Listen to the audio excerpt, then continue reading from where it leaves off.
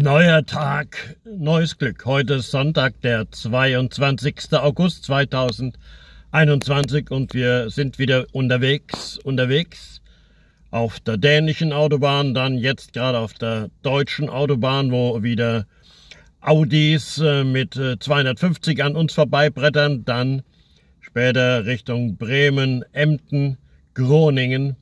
Unser Ziel heute ist das nördliche Eiselmeer, wo wir in oder ich in den vergangenen 40 Jahren immer wieder Windsport betrieben habe, Windsurfen, Katzsegeln.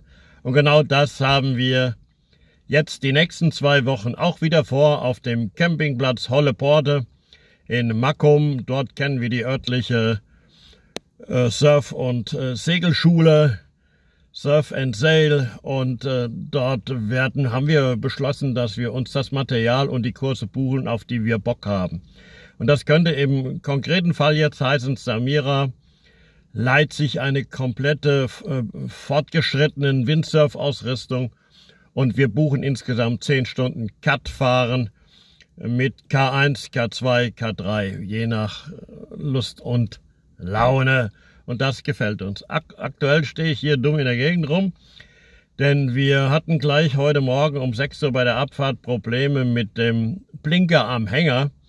Und Blinker, wenn ein Blinker am Trailer nicht geht, ist das einfach scheiße. Und äh, ein netter Camper-Kumpan, Nachbar auf dem Camping in La Colque hat uns äh, für 6 Euro eine kleine neue Flasche WD-40 verkauft und damit äh, habe ich jetzt alle Stecker und äh, Adapter durchgespült.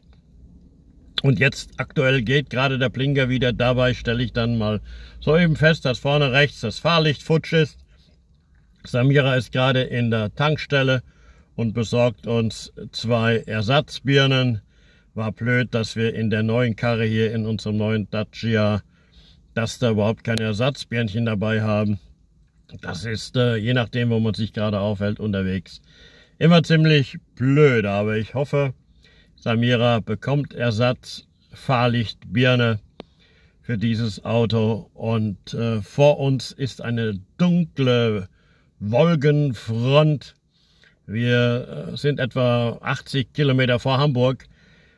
Äh, Nadelöhr-Elbtunnel dürfte am Sonntagvormittag kein Problem sein. Aber dann beginnt äh, Dauerregen, der auch anhält in Holland bis heute Abend. Und wir sind sehr gespannt, ob wir in Holland auf dem Camping Holleporde überhaupt einen Platz bekommen.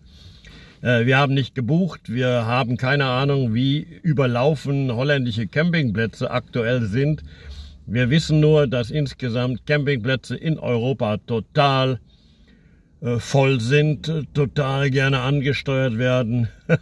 In La Colque war jetzt die, am letzten Wochenende der Teufel los. Alle Plätze ausgebucht. Das lag allerdings an dem Röme, Röme, Röme Oldtimer Festival, was von Freitag bis heute dort stattfindet.